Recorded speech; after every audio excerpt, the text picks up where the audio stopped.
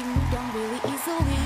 You found a new girl and it only took a couple weeks. Remember when you said that you wanted to give me the Let's look at the coach, Saucy Tom. Okay.